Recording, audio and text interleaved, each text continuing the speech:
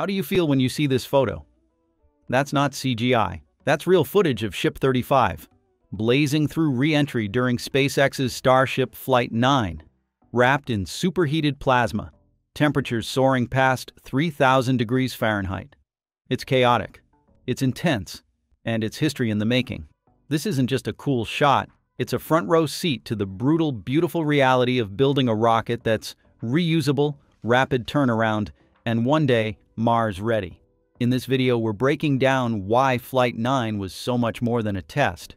From flawless launch to fiery descent, from unexpected tumbles to groundbreaking tech trials, we're looking at everything that went right, what went totally sideways, and why voices like Jared Isaacman are calling this a defining moment for the future of spaceflight. So, strap in. The flames, the failures, and the future of Starship? It's all here in today's TechMap episode, and it's way more epic than you think. What impressed you most about SpaceX Starship Flight 9? For me, this is the wild, fiery chaos of the ship re-entry which represents the rigors of the path toward full reusability of a rocket. Let's start with the launch. Well, it's flawless. 33 Raptor engines roared to life, and Starship punched through the atmosphere like a champ, hitting a suborbital trajectory with a 189 kilometer apogee. That's higher than Flight 7 and 8, which, let's be real, ended in some pretty spectacular fireballs. Stage separation? smooth as butter. Booster 14 did its job and peeled off for an experimental splashdown in the Gulf of America. Ship 35? It coasted into space, ready to tackle its big objectives. But here's where the plot twists. Up in space, things started going sideways. First, the payload bay door got stuck. Yep, those eight Starlink simulators never left the ship. Strike one. Then the real drama hit during the coast phase. A propellant leak in S-35's main tank system caused a pressure drop, and without enough juice for the attitude control thrusters, Ship 35 started tumbling. Like full-on somersaults at 16,000 miles an hour as it slammed back into Earth's atmosphere. Now let's talk about that heat shield, because this was the star of the show. SpaceX went all in on testing new tech metallic tiles, an actively cooled tile, missing tiles to stress test weak spots, and tapered edge tiles to fix hot spots from earlier flights. Elon Musk himself called this a tiles mission. The heat shield's gotta be bulletproof for rapid reusability and, you know, getting to Mars without burning up. But when S-35 started spinning out of control, that experimental heat shield was facing heat it wasn't ready for. The ship was supposed to glide belly first to spread out the thermal load, but tumbling. That's like throwing your spaceship into a cosmic oven with no game plan. The X community was losing it. And I feel you. At about 59 kilometers altitude, SpaceX lost contact with Ship 35. The vehicle broke apart over the Indian Ocean, and they hit the safe button, aka the flight termination system, to make sure debris landed in a clear zone. No harm done, but man, what a way to go out. After the flight, some insane re-entry footage of S-35 has quickly gone viral. Among them, I can't help but mention a scene shared by Felix Spacetime on X. Look at that. The plasma glows bright orange as the spacecraft battles the extreme heat of re-entry. You can see the timestamps here, T minus 46 seconds, altitudes around 67.5 kilometers. This is the kind of footage that makes your heart race. But what makes this even more special is the transparency SpaceX is showing us. They're bringing us along for the ride, through the highs and the lows of their test program. And that brings us to a post that caught my eye from Jared Isaacman.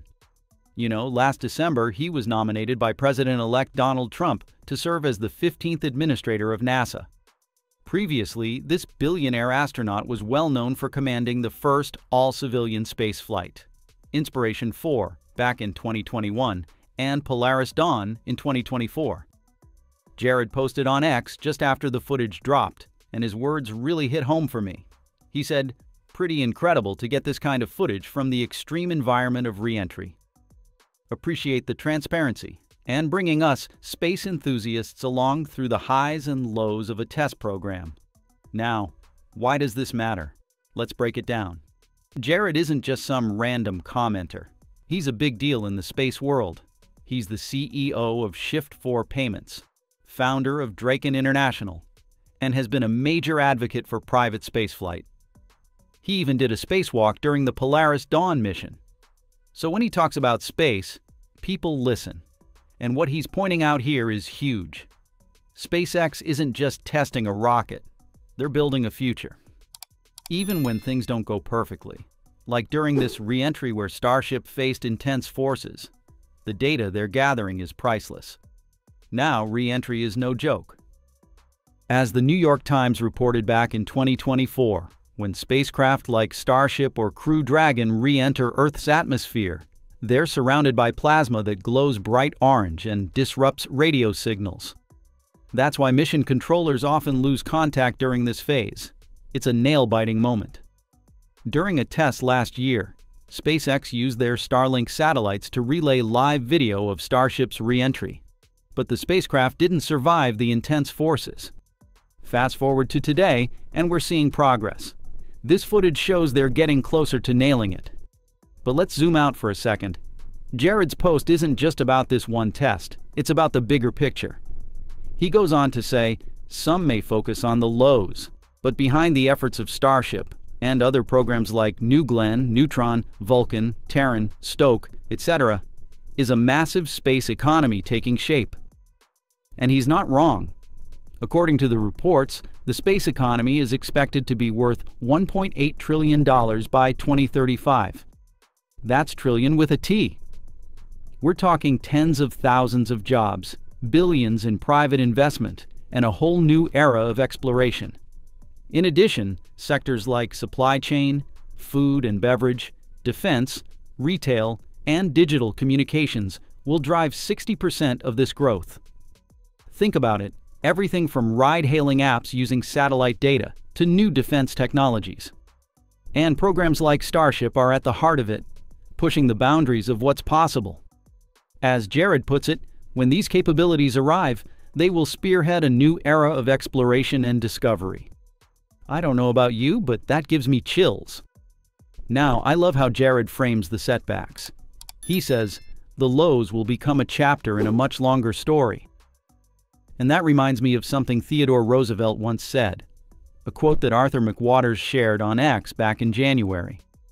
Arthur posted a stunning image of what looks like Starlink satellites in the sky. With this quote, It is not the critic who counts, not the man who points out how the strong man stumbles, or where the doer of deeds could have done them better.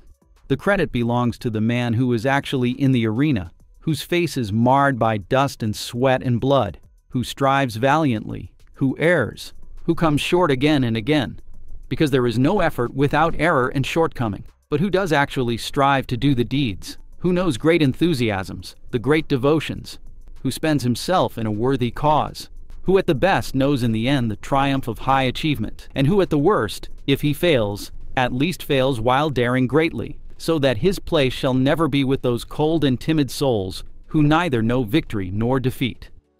Arthur tagged SpaceX and Elon Musk, saying, Thank you for being in the arena. And you know what? That's exactly what Jared is getting at. The critics will always point out the stumbles, but the builders, like SpaceX, are the ones moving us forward. Stephanie Tyler nailed it in her reply. Critics be criticizing, builders be building. And that's the spirit of this whole space race. Speaking of which, let's look at some of the reactions to Jared's post. Michael Sheetz added that MLV, another rocket program, should be on the list of game changers. Penny2X even suggested Jared for NASA administrator. Honestly, I'm here for that. And Greg Autry summed it up beautifully. We are lucky to live in these exciting days.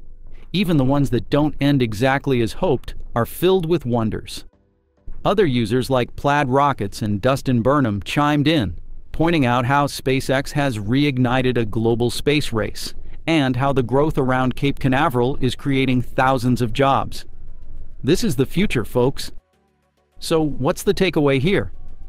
Starship's re-entry might not have been perfect, but it's a stepping stone to something massive. Jared Isaacman sees it, SpaceX sees it, and I hope you see it too.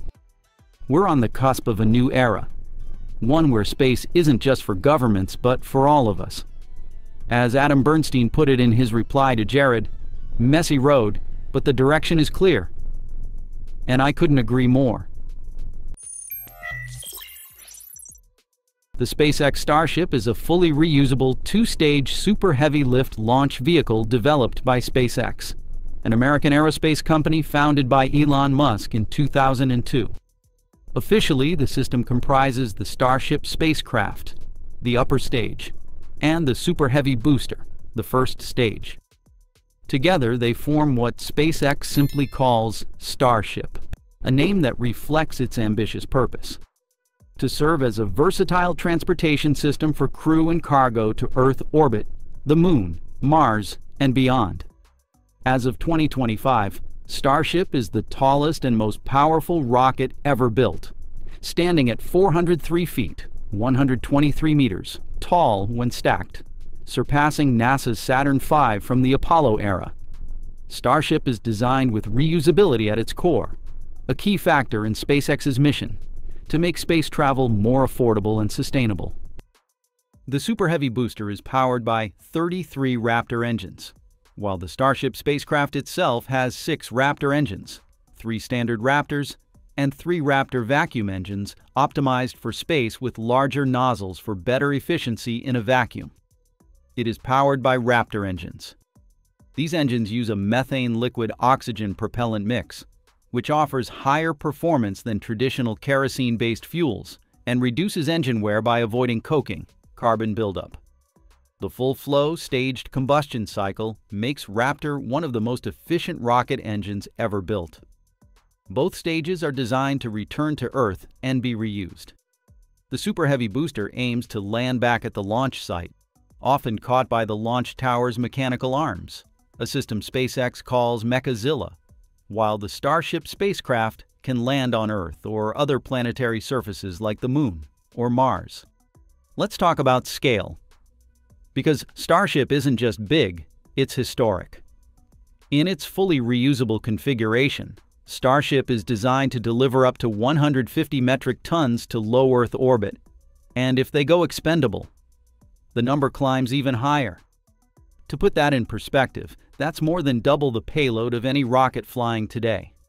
We're talking about the power to launch entire space stations in one go, deploy massive lunar infrastructure, or send fully equipped cargo modules to Mars. Not in pieces, but in bulk. This level of capacity doesn't just make missions cheaper, it reshapes what's even possible in space. From mega constellations of satellites to deep space refueling depots, to the eventual transport of humans and equipment for interplanetary colonization. Starship is the kind of platform that finally matches the scale of humanity's space ambitions.